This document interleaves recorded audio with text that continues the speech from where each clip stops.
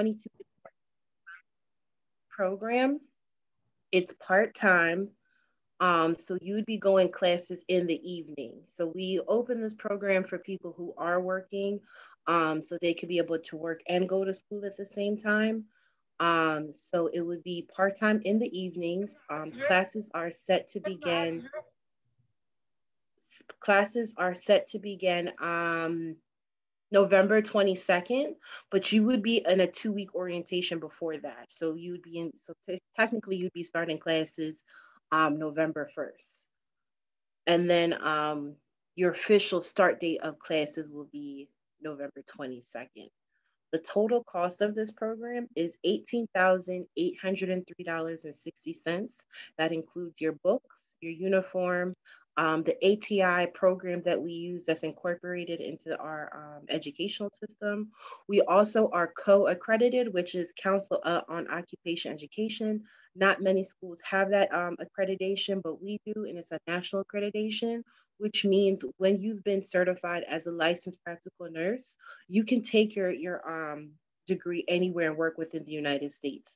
Some schools only offer it for you to work within PA, but our school lets you work your certification will take you to work anywhere within the United States. Um, we definitely do a, a, rigorous course to, of enrollment. So the first step that you would do is attend an information session. So since you are here today, this would technically count as your information session.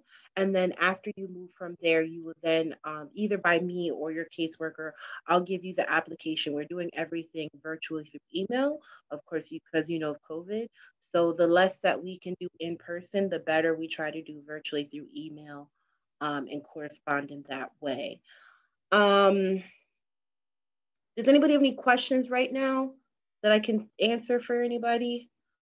We do offer FAFSA. So if this is something that you're very interested in, we definitely tell you that one of the recommendations is to um, make sure you fill out FAFSA to see how much funding you can get. Um, we do accept Pell funding. So if you've never been to school before, um, you most likely can be offered something. Even if you don't offer, if you don't get offered Pell funding, we um, definitely recommend, especially if you're already in the nursing field or if you work in a hospital or something, you definitely want to reach out to your employers to say, hey, I'm furthering my education. How can I go about getting some assistance? Nine times out of 10, depending on your employer, they would love to know that you're furthering your education, especially if you're going in the nursing field to see what type of assistance you can get. Um, we definitely tell people to go that, that route as well.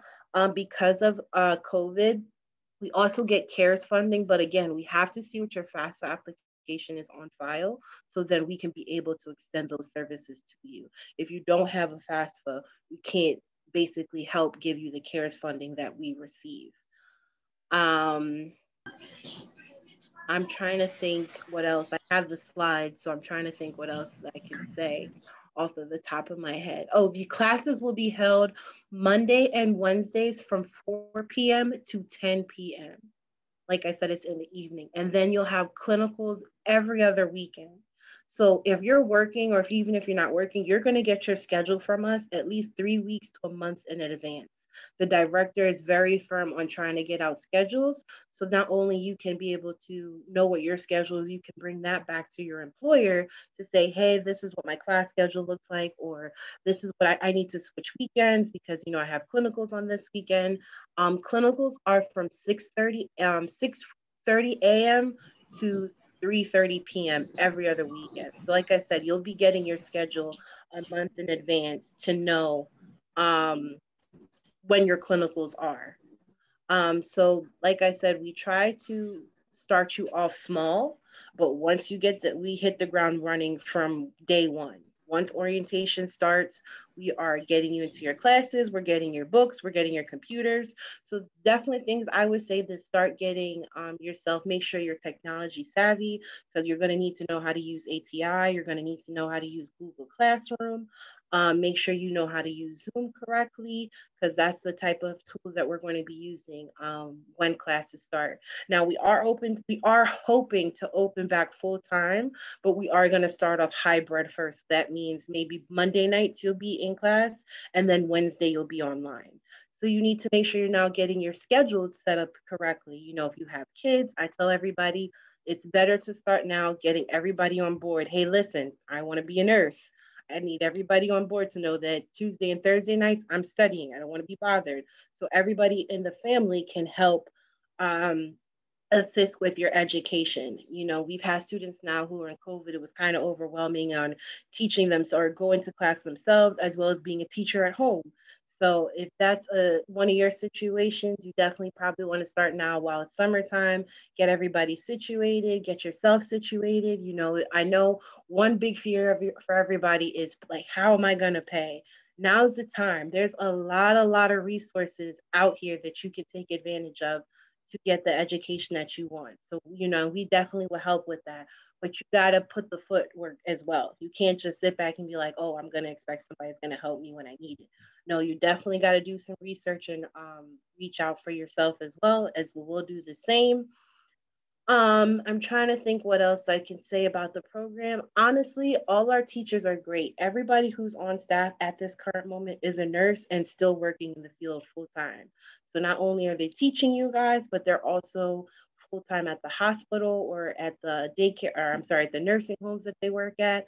Um, and they're definitely, you know, been a nurse for years. We have people who've been nursing for 20 to 30 years. So you're getting the best education from somebody who's actually been in the field and seen everything.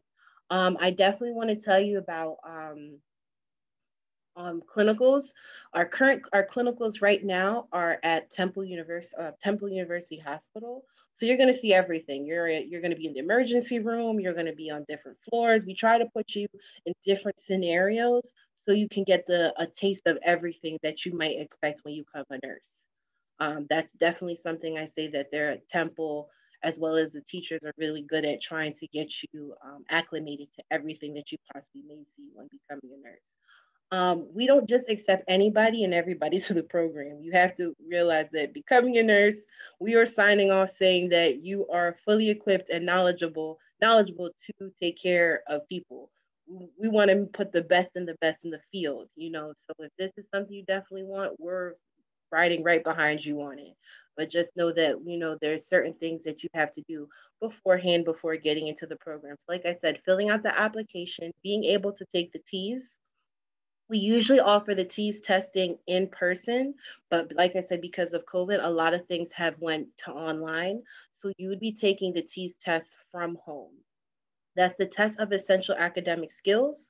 Um, you can Google that if you're not familiar with it, um, get yourself some background knowledge on it. Um, we also offer pre-bridge nursing classes um, to help if you haven't taken a test a while or you know you're not a good test taker or say you're not good at math and science and you need to brush up on those skills we definitely have classes um, to help with that that is the bridge program that we offer um, those classes, this will be the last session. It'll start in July. That will be the very last session before November classes start. Um, and that class will run between eight to 10 weeks and it's also in the evening and it'll be online.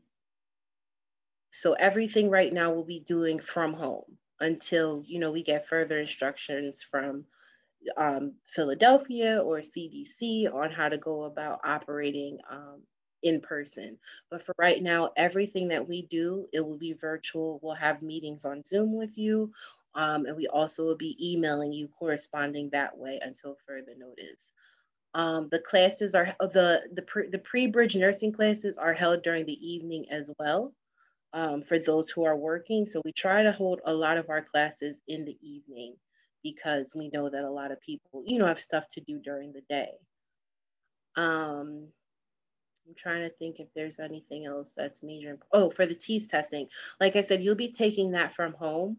You want to allow yourself four hours to take that test. You don't have to take the whole four hours, but we have to give you four hours from the ATI system. So you get an hour in math, an hour in reading, an hour in English, and an hour in science. Like I said, you don't have to take the whole four hours, but we have to make sure that we give you a, um, four hours to take the test.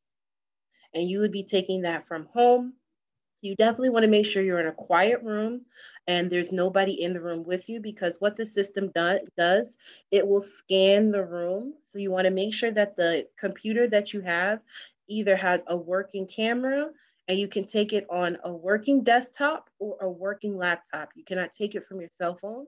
You can't take it from a tablet or you cannot take it from an iPad. It has to be a computer with a camera attached to it uh, as a desktop or a laptop.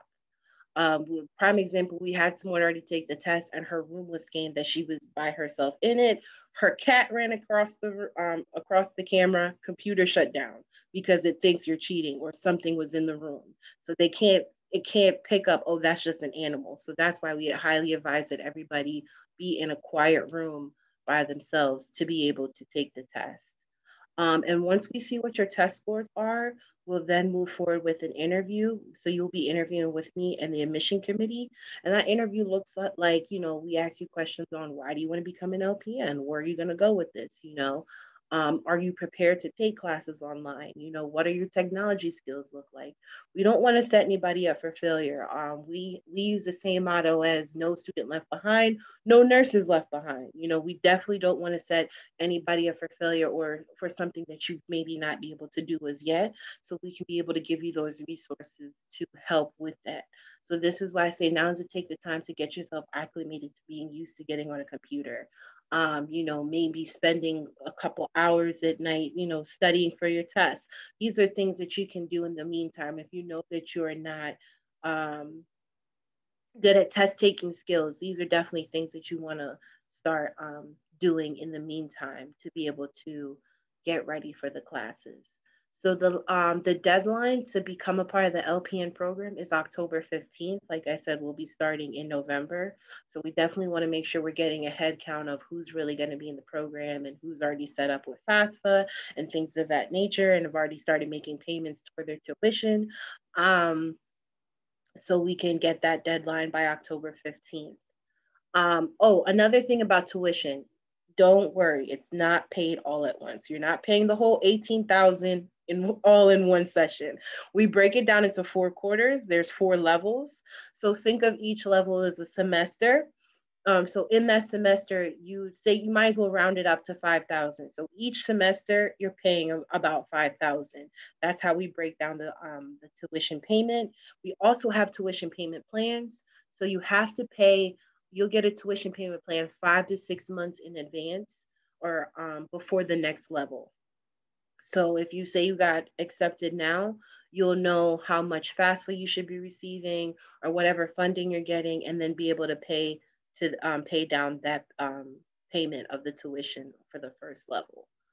Um, so we try to give you five to six months in advance before the next levels start to be able to pay um, down for each level. This is not a, this is a pay as you go program. So you have to pay off your level before you can move on to the next level. If you don't pay off the level, you cannot be able to move on to the next level. Does anybody have any questions or comments so far for me that I can answer?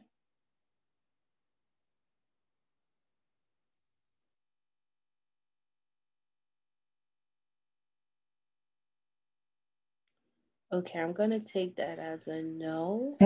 Hello. Hello. Oh, this is Miriam. Hi, how are you? I'm good. I just want to know uh, when they when they, they because I'm I'm sorry first of all coming late because like I was trying to get uh, connected. So I want to know uh, when the, the classes begin and when the test going to take place and what are the requirements. So like I was saying, let me get my, um, I have, show you. So I'm able to share my screen. Can everybody see my screen? Yeah. Okay, great. Okay, what a connection. So we'll just skip over this part because you guys know my name. So I was just saying the District 1199 CN Training Upgrade Fund, we are a part of them. You can see this is our their mission statement, um, providing access uh, to career pathways in healthcare and human services. Um, so here goes the general requirements so you can see what you need. Can you see that, Miriam? So you yes. must have a high school diploma or GED. Um, if you are from out of the country, you must get your high school diploma or GED or whatever you receive notarized. The reason why we ask that it's notarized, we got to make sure that what you learned in your country is equivalent to what's learned in America. So um, I will Google a notary republic or a notary in your area to see how they're running because of COVID. I know everybody's running differently so you can get that um, started. So that's definitely something you want to take in mind if you don't have a high school diploma from America. Um, you must be have the ability to um, do a physical and things of that nature, two-step TB skin test, or we accept the X-rays. Um, we don't accept no felonies or disqualifying misdemeanors. Um, so if that's something you definitely know you have on your record, you definitely need to know it's either expunged, it's been cleared. We need all proper documentation. The reason why we ask that when you go sit for your um, nurse state board of nursing, they have the right to turn you down, even if it's something from 20 years ago. And I'm telling you this because we've had a student who had a misdemeanor or something of that nature when she was a teenager. And when she went to go sit for her state boards, the state board of um, Pennsylvania turned her down because of something that was on her record from years ago. So she had to go through all the paperwork to get proper documentation to show that it was cleared, um, everything was fine, so that she could be able to work in the healthcare. That is a big thing you definitely want to make sure you take care of if that's an issue that any one of you may have, because you know it's above our heads. Once it gets to the state board of nursing, if they tell you no, that's it's a no. It's not us telling you no. Um, so those are things that you definitely want to think about. Um, to attendant of, of course, this, like I said, will be your information session. Now you want to complete the application. Once you've complete the application and essay, you would then send that to me via email, and then we would go about making the payment of the $50 fee that is a part of the application. Okay. And that's non-refundable. Once you have done that, you then can register for the TEAS test. So you'll get instructions on how to set up your computer and things of that nature for the TEAS test via email. And you also have to make the payment of $65 to take the TEAS test. Another thing to keep in mind, we only offer the TEAS test twice. Like I said, we don't want to set anybody up for failure. So if you take the TEAS test the first time around and you don't do so well, we'll definitely recommend you take the pre-bridge nursing classes. That's why we offer those type of resources and tell you to come back again and take the test.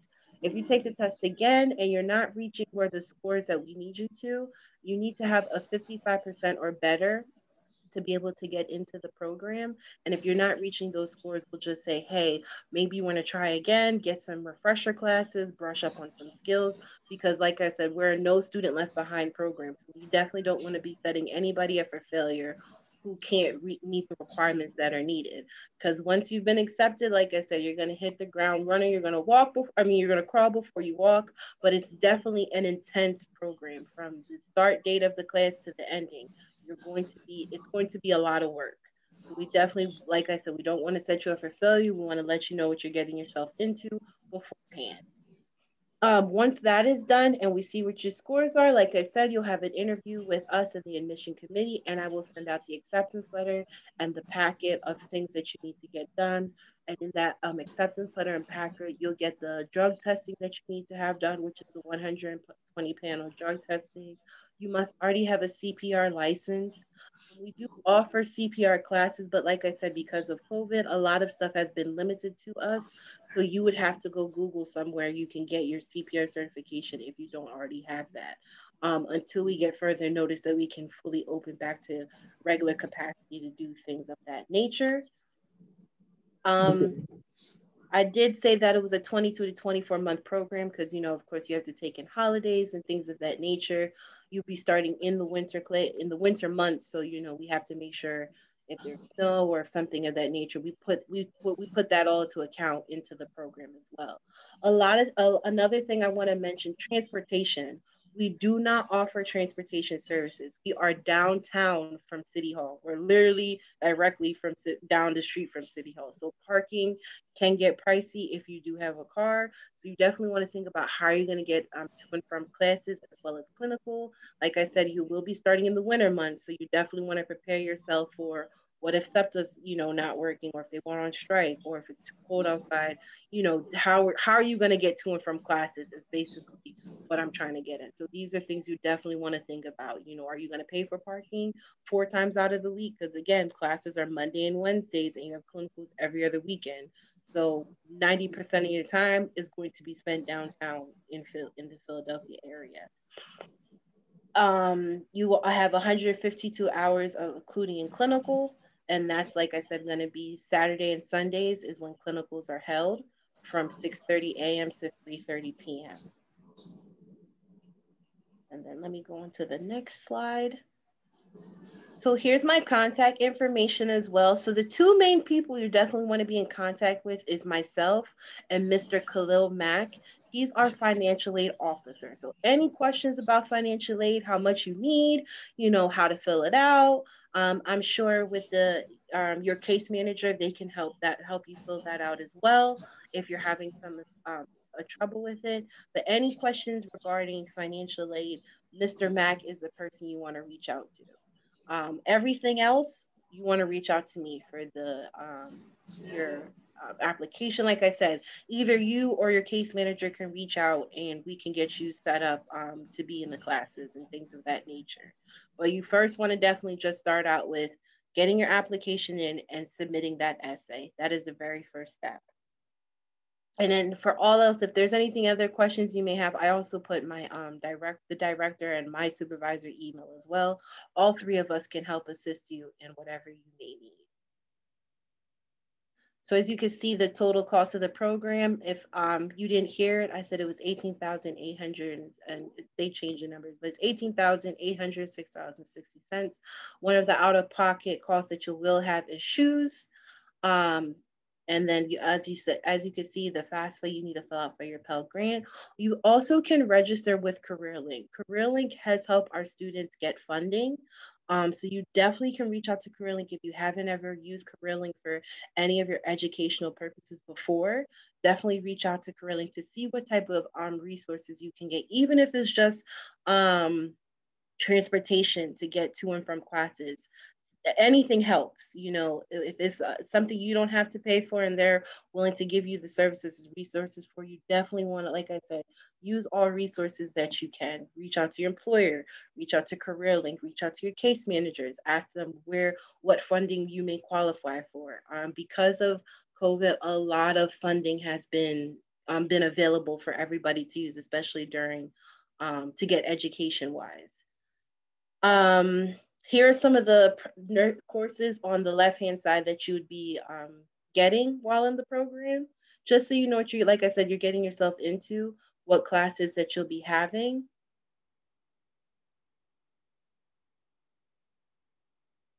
And then that's it. If you don't have any more questions, comments, or concerns, um, I put up the website for 1199C training. I was talking with Miss Brianna about it before. You can use that website and there's a form on there. Say, you know, you don't want to do LPN and you want to see what other classes we have to offer. That form shows you what upcoming classes we have. Plus we have new classes that are coming about. We also have a new EMT program coming about that's been hitting the ground well. We've had a lot of students already pass and already working as an EMT. So there's different routes you can take, especially if you know LPN may not be the route for you. We have CNA. So this for um this website, both of them, either one, or if you just type in District 1199C into the Google um, search bar, it'll pop up and it'll show you what classes and things of that nature we have. Um, I remember someone saying they were a teacher on here. I'm not sure what type of teacher you are, but we have the ECE program. If that's something you're also interested in, definitely check out the website um, to see where you, you know your we can best fit um, fit your needs. I have a couple quick questions, Renee. If that's okay. yes. Um, about the pre-bridge program, does that mm-hmm. do those classes have a fee? And if so, how much? No. Oh, I'm glad you asked that. The fee is free. So I know I like free. I don't know anybody else that does, but I love free. Um, so we get funding. So the, the funding that we get to make the bridge program. is free, so you it's no cost to you at all. So like I said, the only things that students will definitely need is to have a working laptop for right now, connected to the internet. They know how to get on Zoom. Um, they definitely need to be technology savvy because homework is going to be online. Um, so those are things that definitely you want to get yourself well equipped with. But everything beforehand, before you get into the LPN program, is free. Okay, wonderful. And then do you need um, to have your CPR certification for the bridge, the pre-bridge classes? No, you need to have, if you are getting it, if you want to be a part of the LPN program, you definitely need to have your CPR certification for that. Say if you're not ready to be a part of the LPN program, but you just want to take the bridge classes, that's more than fine. We rather you, you know, do something free first to see what you're getting yourself into before actually start paying for classes. And you're like, well, you know what, this is too much, or I'm not ready for all this. So um, we definitely recommend if you are interested in the bridge program, please try to um, email me quickly because the deadline for that will be the ending of this month because we're trying to get started for the last one in July. Um, so we still have seats that are open for people who are interested to get in.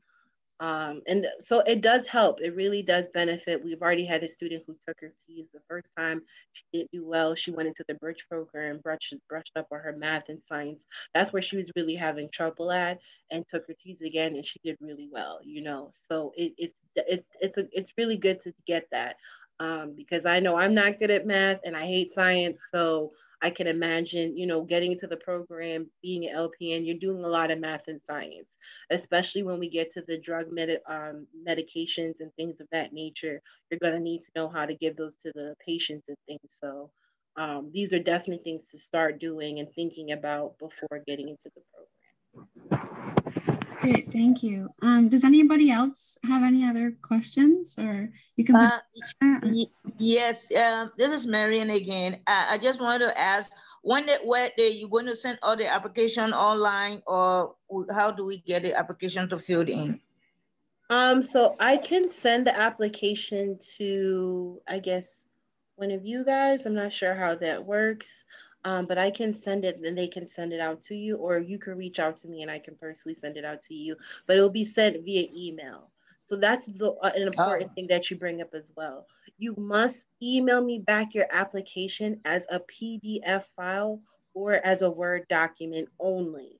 Do not send it as a picture. I've had people who've taken pictures as a document. We can't have those mm-hmm. as official documents because we have to send all this documentation in to the State Board of Nursing. It has to look official. So if you don't know how to do that, that's definitely something your case manager could probably work with you to show you how to set it up as a Word document or as a PDF file. But those are the only two ways I can accept the application. So Marion, if you see her email has been put in the chat. So if you her email asking for the application, she'll be able to email it to you.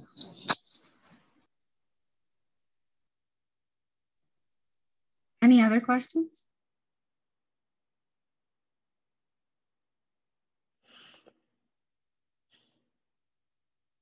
Yes, just Miriam. So just email me when you get a chance. Remind me who you are, please, because I talk to so many different people and they'd be like, Yeah, you remember me? And I'd be like, No, I don't. I'm sorry. I talk to a lot of people. So just say that, you know, we you had the information session you would like to get the application and move forward and we can really we can move forward in that way but the, that's the first step is filling out the application doing the essay and if you know you need assistance um, before taking your TEAS test you know we can definitely get you signed up for the pre-bridge nursing classes.